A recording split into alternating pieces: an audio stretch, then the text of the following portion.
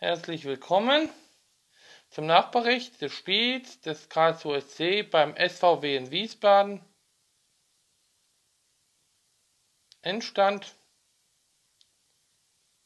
1 zu 0 für Wien Wiesbaden. Somit hat der Karlsruher SC die erste Niederlage in der Saison kassiert. Letztendlich gesehen nicht unverdient.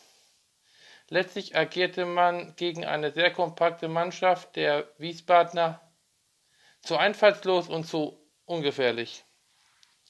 Ersten Halbzeit begann der KSC besser, hatte auch eine erste gute Torchance. Der 22. Minute erzielte Lee für Wiesbaden das 1 zu 0.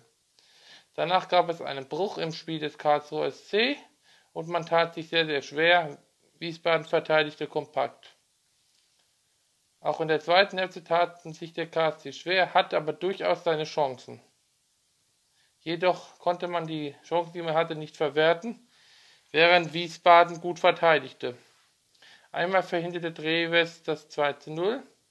Letztendlich gesehen gewann Wiesbaden nicht unverdient und holte sich damit den zweiten Saisonsieg.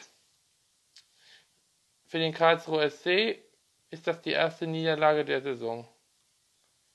Fakt ist, über die ganze Spielzeit agierte der KSC heute zu einfallslos und verlor deshalb auch verdient. Ich bedanke mich fürs Zuhören. Wie habt ihr alle das Spiel gesehen? Schreibt es bitte unten mal in die Kommentare. Und wir würden uns über jeden neuen Abonnenten freuen auch Leute, die unser Video schauen und nicht Abonnenten sind, abonniert uns doch. Wir würden uns über jeden freuen. Dankeschön. Bis zum nächsten Mal.